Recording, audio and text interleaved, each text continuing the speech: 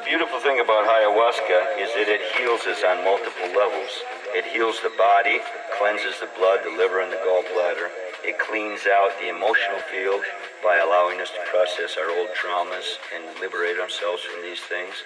And it also brings our energy into the third eye and the crown chakra and allows us to experience the celestial realm.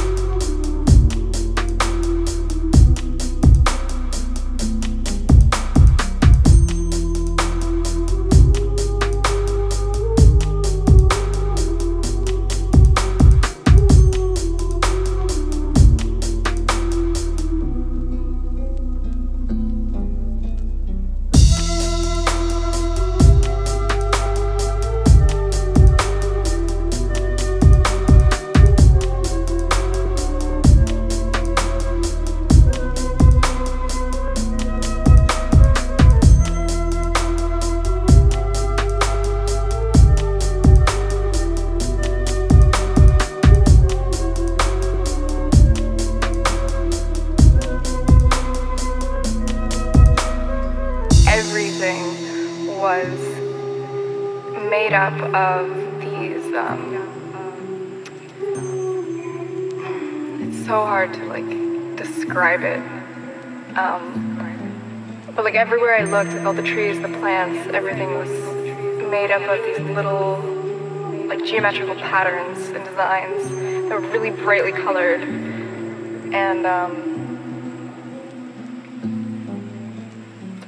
um, very vibrant and brightly colored and so that was that was amazing in itself. It was very beautiful. And um, I was told not told but I guess I don't know the medicine brought me over to this one tree that was in the yard. And um, I walked over to this tree and I put my hands on it on the bark. And um, I slowly brought my forehead to it. And as soon as my forehead touched this tree, I had this huge, overwhelming, like just wave of love, like pure, the purest love I've ever felt in my life, just wash over me and through me. And I started bawling my eyes out because it was just so intense and amazing and beautiful.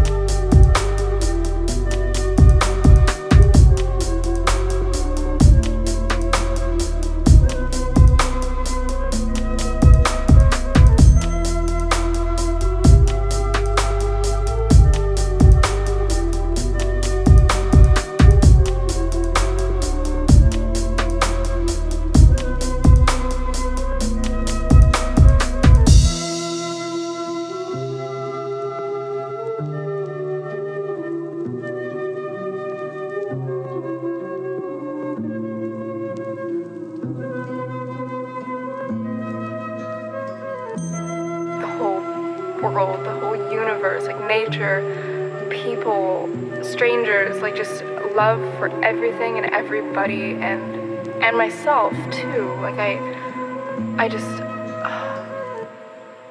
it was it was one of the most amazing feelings of my life.